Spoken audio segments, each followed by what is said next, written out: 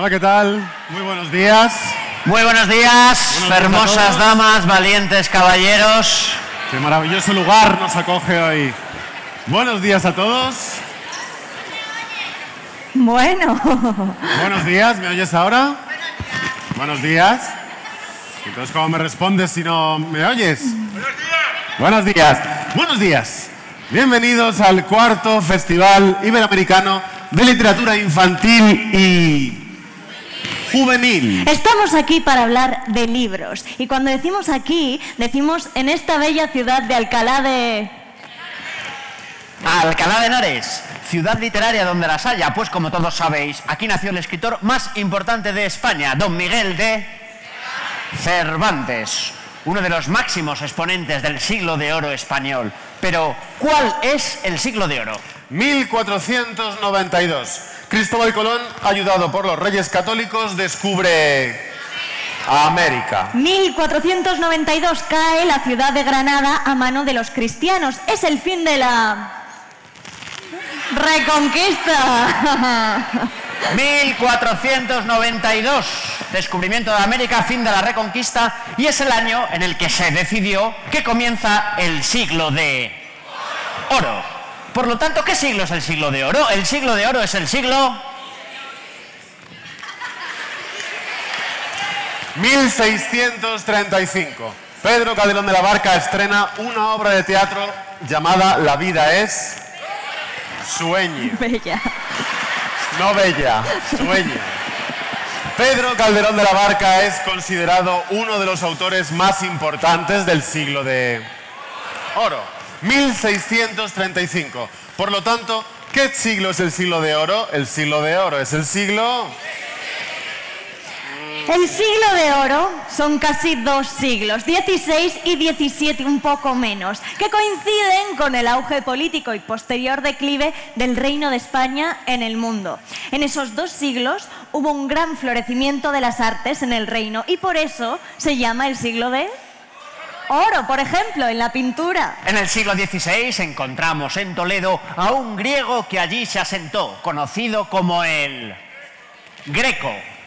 O en el siglo XVII, El pintor de las meninas también nos dejó su arte. Todos lo conocemos, es don Diego de Velázquez. Y si hablamos de literatura, no nos da con una noche para nombrarlos a todos. El ya citado don Miguel de Cervantes, don Lope de Vega, don Pedro Calderón de la Barca, don Francisco de Quevedo, don Luis de Góngora o Santa Teresa de Jesús. Jesús. Resumiendo, Jesús, no Calcuta. todos ellos son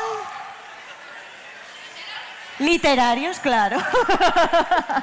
Y aquí estamos nosotros inaugurando este encuentro, queriendo hacer con vosotros historias, versos y cuentos. Necesitamos ayuda y queremos que os riáis, que juntos creemos historias, las que vosotros pidáis. No hay nada más que decir. Bienvenidos, buenos días. Debéis de saber que a nadie Se le dio veneno en risa.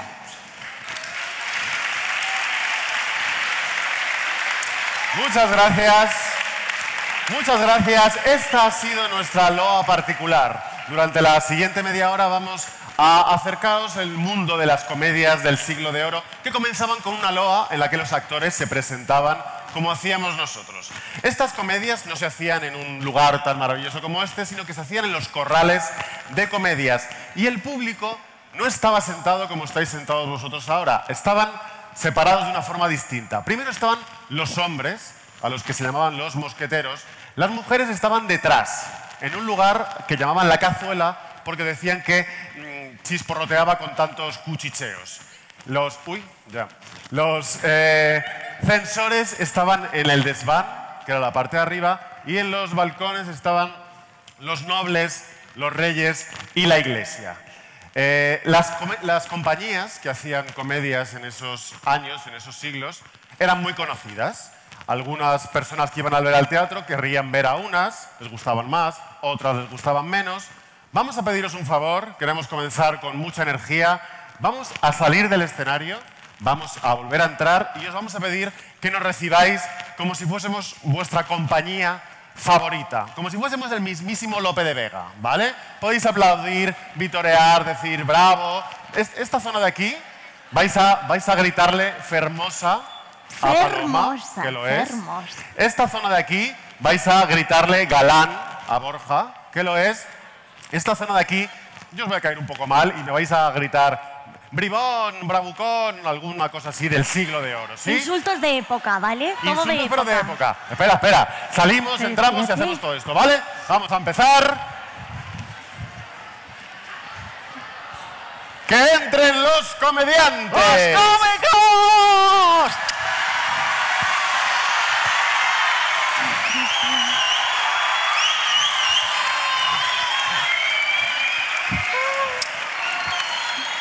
Ahora sí, esto ya es Esto un sí, corral de Ya hay comedia. ambiente.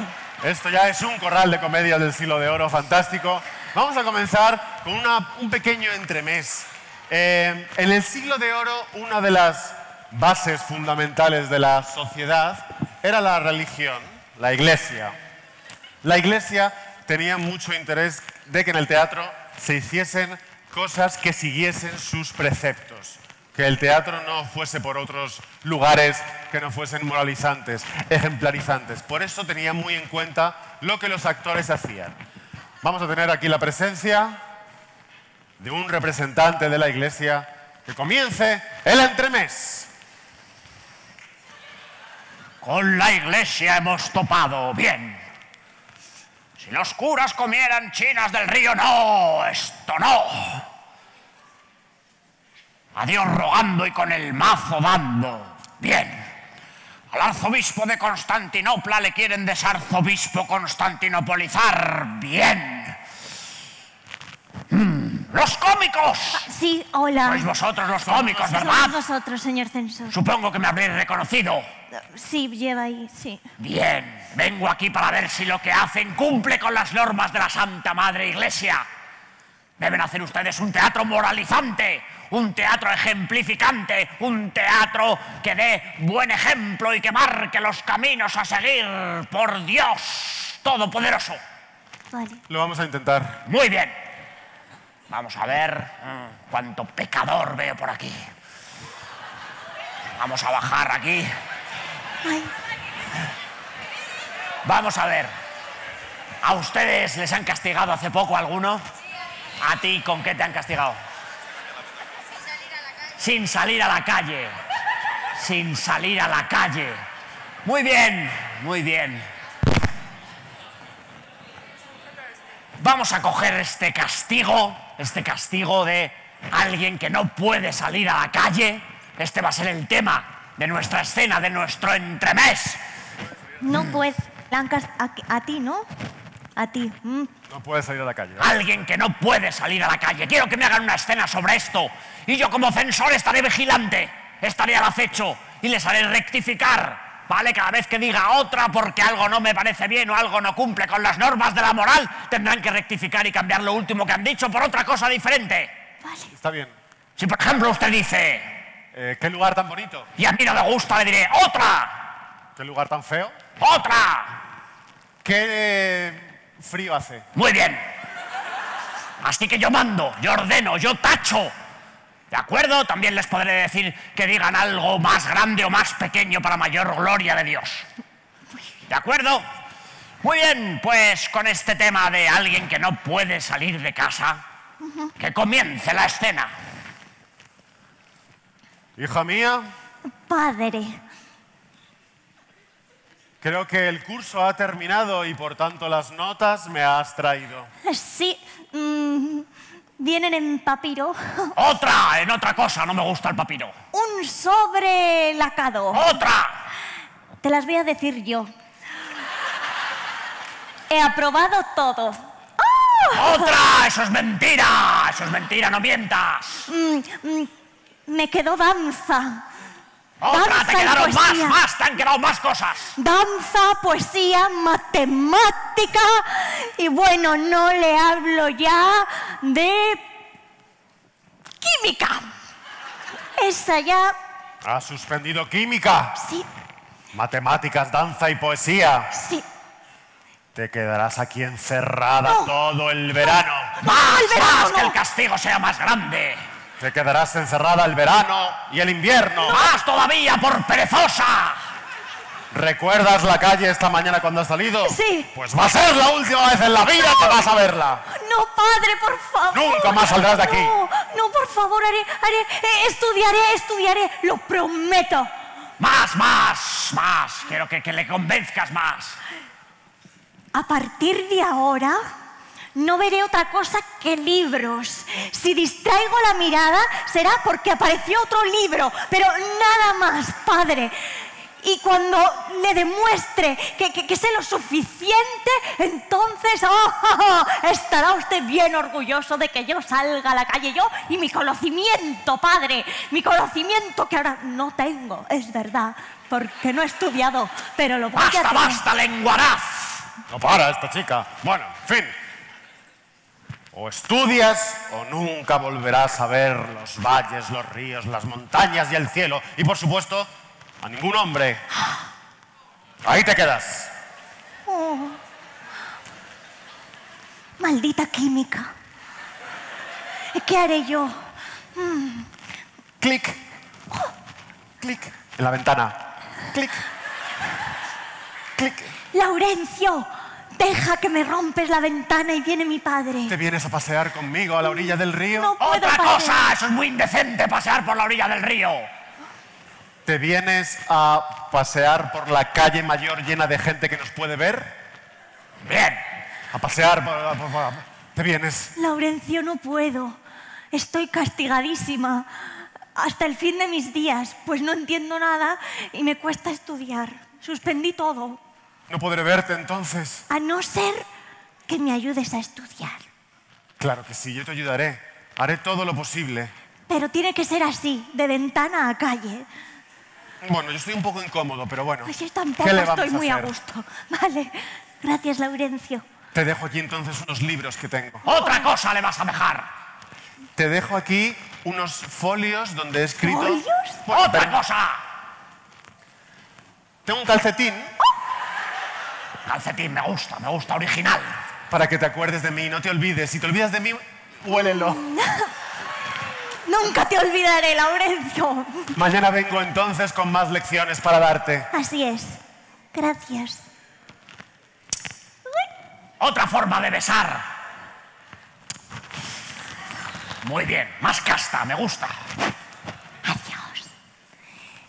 Y pasaron los días y pasaron los meses y el verano llegó a septiembre. Padre, Hija mía, hoy me examino de todo. ¿y vas bien preparada? Preparadísima. Más, más, convence a tu padre. Voy yo a dar la clase. No lo saben ellos aún. Seré yo, seré yo la nueva licenciada. Eh, me puse tanto a estudiar que, me- que- que- que- no me quedé ya en mi curso, sino que seguí avanzando y ahora soy catedrática, padre. Catedrática de ciencias y letras, de todo junto. serio? Sí, Pues entonces... sé más que Te tú. levanto el castigo, por supuesto. Obviamente, padre. Pues, de hecho, vas a traer un sueldo a casa, Sí, entiendo. me voy a la universidad a trabajar. Oh, qué orgulloso estoy de ti, hija. Luego te pregunto la lección. ¡Fin de la escena!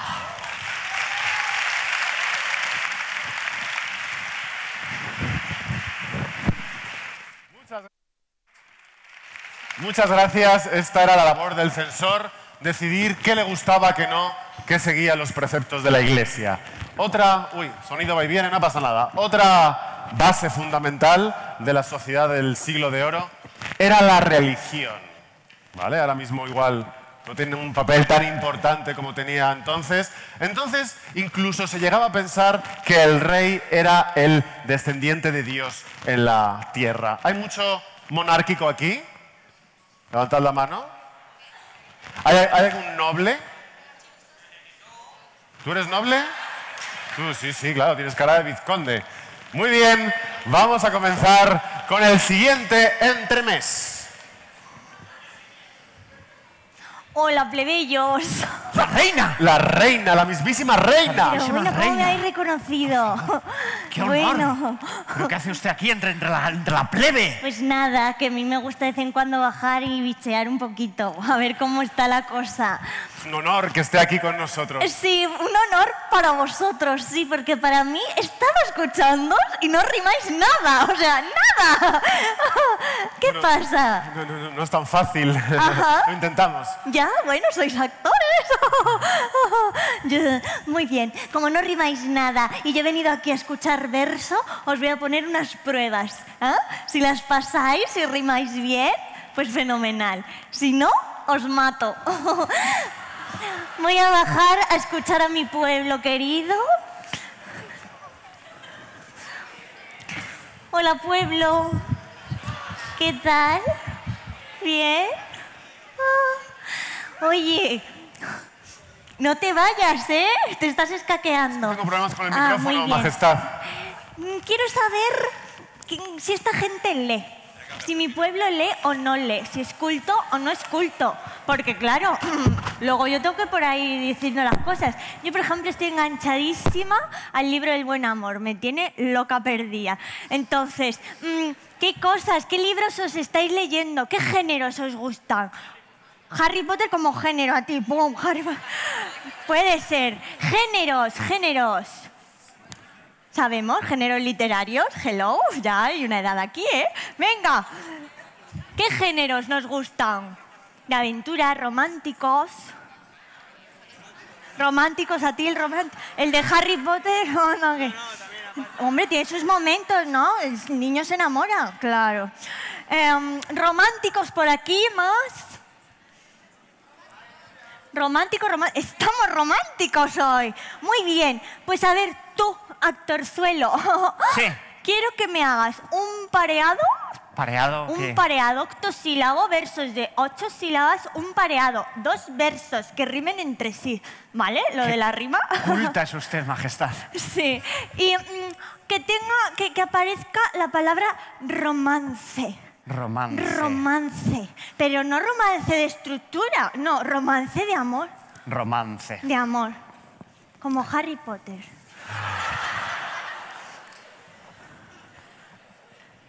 Qué bonito es el romance. El amor, difícil trance. ¡Oh, bravo! Claro, algunos no lo habéis entendido porque aún no estáis muy enamorados y no sabéis el difícil trance. Muy bien. A ver, otros géneros por aquí, géneros que os gusten. ¿Cómo? ¿La muerte has dicho tú? Uy, qué tía. Por favor. Asesinatos, la muerte. Uy, esta sección. Y se ríe. Bueno, pues tú, actor Sucho, vas a tener que hacer igual un pareado, ¿vale? Pero que aparezca muerte. No me Muerte. di- Ha sido culpa de ella. No pasa nada. Muerte. Espero tener hoy suerte que no me llegue la muerte. ¡Oh, muy bien! ¡Bravo! Muy bien. Bueno, bueno, no, no. Pues ya está, ¿no, majestad? No, Ya- ya, está, no. Que Hemos rimado, hemos fácil. rimado los dos. Ha sido muy fácil. Os voy a poner una última pruebecita, ¿vale? Mm, A ver, quiero que me digáis ahora sí títulos del libro que os han encantado o personajes que os fascinan. A ver, a ver. Casi sin querer. Oh, eso, eso es un libro. Muy bien. Casi sin querer. Más. Bajo la misma estrella. Oh, qué bonito ese, me lo voy a leer yo. Mm, ¿eh? El Lazarillo. Ah, mira, se me suena. El Lazarillo. Más. Las. Los alcaldes de Zagazo. ¿Un entremés? Pues claro, que yo ya lo sabía. Eh, ¿Más por aquí, chicos? ¿Eh? Electro. Pum. Así. ¿Más? Ah, Concierto para disparo y orquesta. concierto para disparo y orquesta, pero me encanta que sois muy cultos y muy leídos. Rescate. El rescate. Rescate. Ah, Rescate. Sin el el, perdón. Rescate. Vale, vale, vale. Te- uh, tengo un montón. Bueno, pues mm, tú vas a tener que hacer una mm, cuarteta A, B, B, A. ¿Eh, ¿Qué? Eh, te explico. Vale. El primer verso rima con el último y el segundo verso rima con el tercero. Una rima abrazada. A, B, B, A. ¿Mm? También octosílabos y tiene que aparecer eh, la palabra. A ver, ¿tú qué me habías dicho el del concierto? Oh, concierto para disparo y orquesta. No te lo voy a poner porque ya te hago casi yo la cuarteta, ¿vale? Eh, pero orquesta. Tiene que aparecer la palabra orquesta. Orquesta. ¿Vale? Orquesta, una cuarteta. A, B, B, A.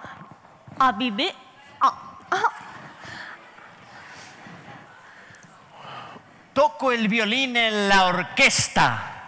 La música es mi pasión. La llevo en el corazón. Los tambores me molestan. Bien, muy bien. Orquesta molestan, bravo. Y a ver tú, actor Sucho. Sí, Majestad. A ver por aquí, un librito, un Fácil, personaje uno fácil, uno fácil. prohibido. ¿Mm? Pues ya está, me quedo ahí. ¿Prohibido? Prohibido, prohibido. Tiene que rimar con prohibido. Tiene que aparecer la palabra prohibido. Pero en vez de A, B, B, A, va a ser sin abrazo. A, B, A, B. ¿Eh? La primera con la tercera, la segunda con la cuarta. A, B, A, B. Prohibido. ¿ah? Mm. Prohibido. Prohibido. Está bien. Vamos allá, a ver, a ver si nos mato. Vais bien. Está todo en tu... te la juegas. Me encuentro yo algo perdido, mas veo una habitación. No puedo entrar, es prohibido.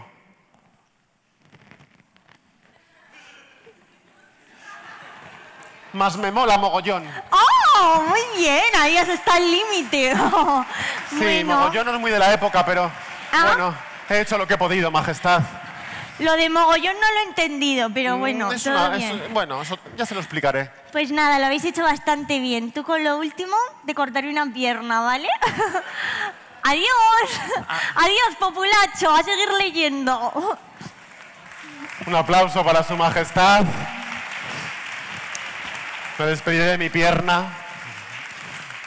Bueno, vamos con la última de nuestras escenas. Eh, entonces aquí el, te- ¿Qué el ha teatro... pasado? ¿Ha venido la reina? Me, reina. va a cortar una pierna. Tranquilo. Sí, tranquilo, pero me va a quedar cojo. Bueno, en esta última escena vosotros vais a ser también un poco autores, dramaturgos, escritores. Bien, Eh, vamos a hacer lo siguiente. Eh, Paloma, por ejemplo, ¿Yo?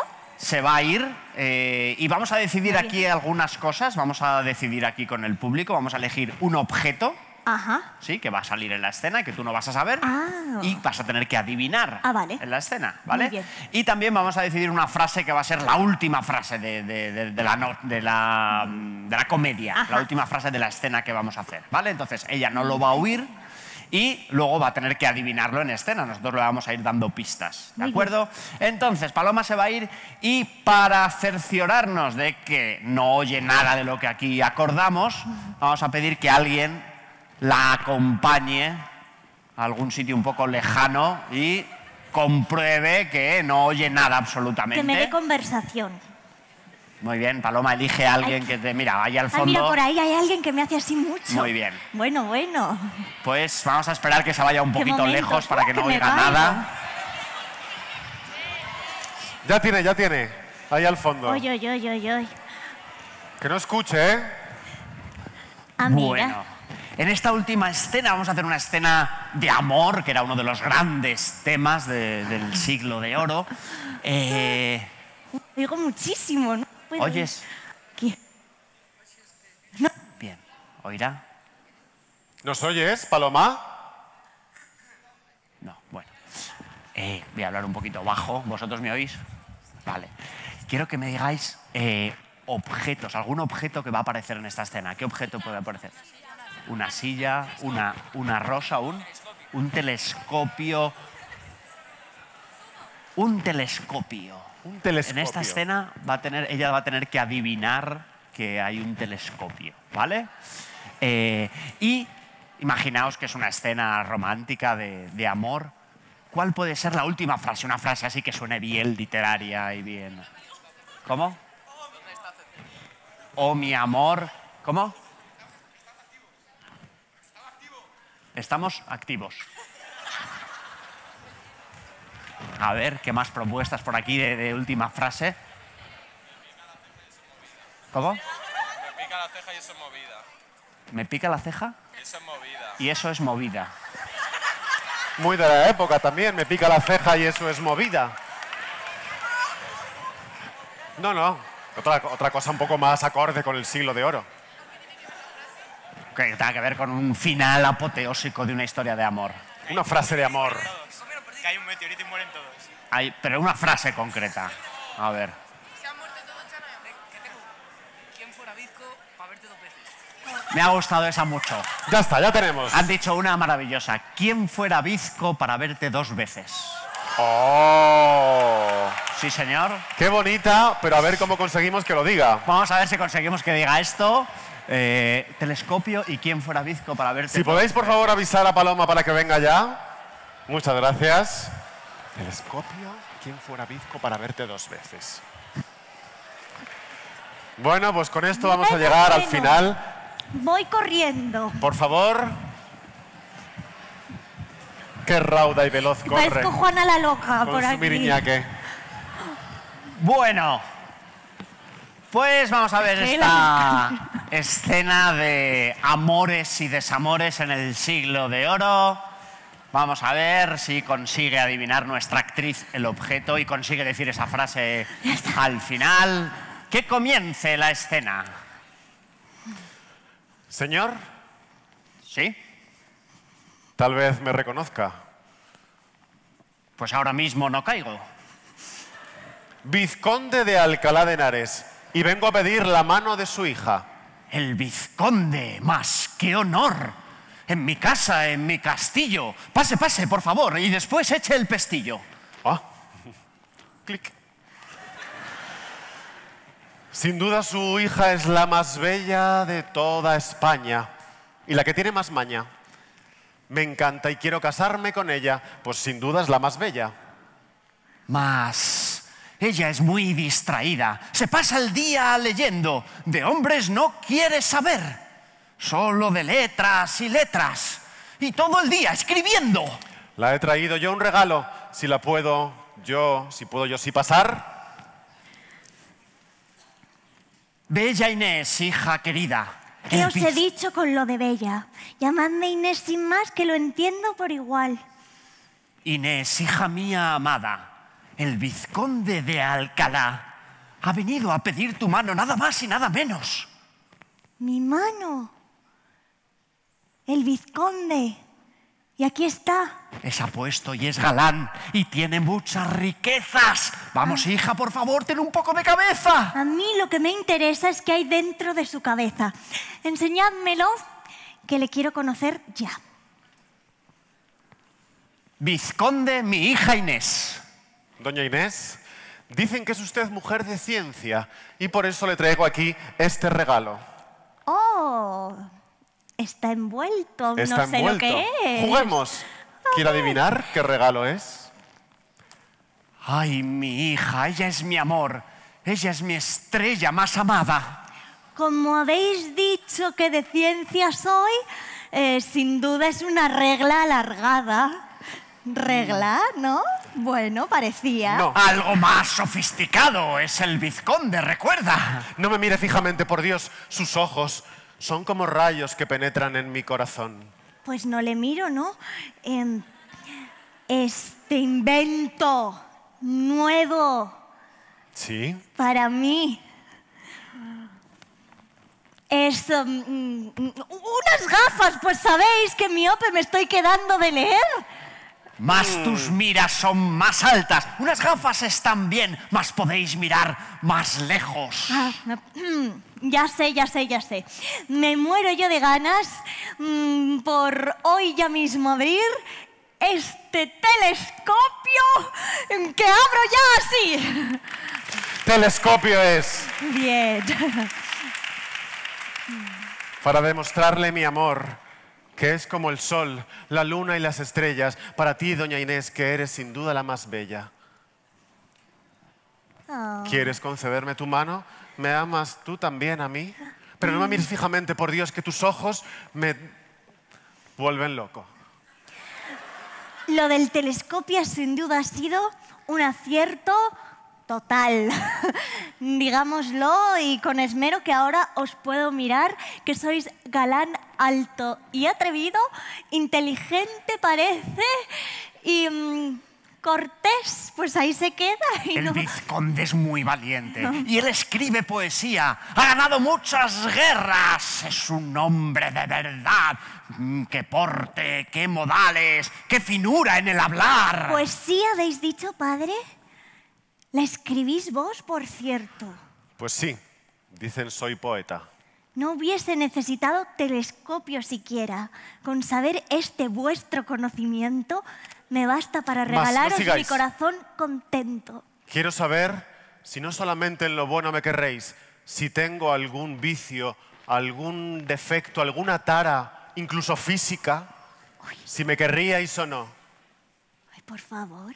¿Me Eh, querríais si fuese cojo, por ejemplo? Pues cojo no sois. Podría serlo. Si Bueno, la reina me corta una día- pierna.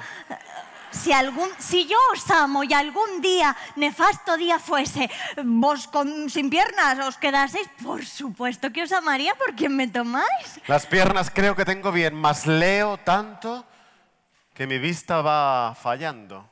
Estáis a punto de quedaros ciego. Uy, No, no, no, no, no, no os No, no, preocupéis. no es para tanto. No es para tanto. Ah, veo que hay un desconchón en la ventana de allí. desconchón.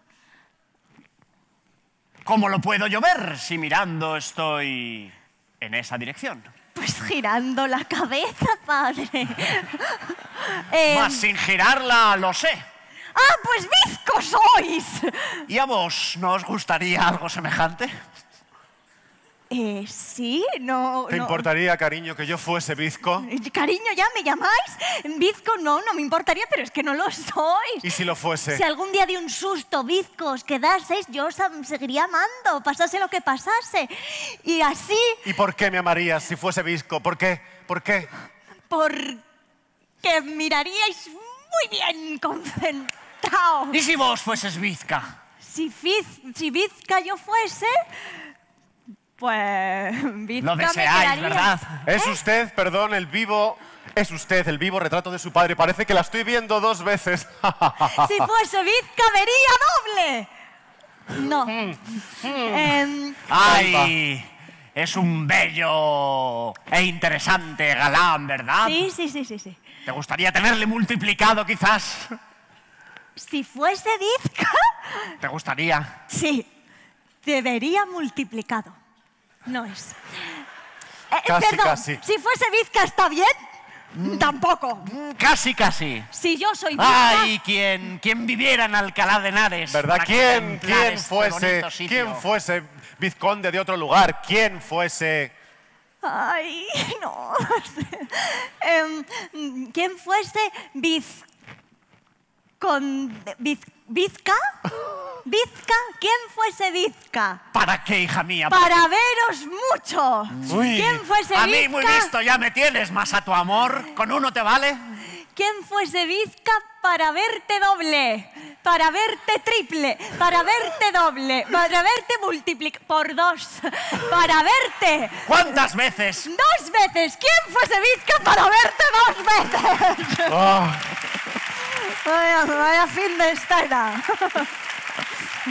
Muchísimas gracias. Lo hemos conseguido. Sí, sí. Muchas gracias. Esperamos Gracias. que haya- haya sido este un buen inicio de este festival maravilloso. Gracias por vuestra ayuda. Somos Impro Madrid Teatro. Esperamos que paséis un día maravilloso. Muchas gracias.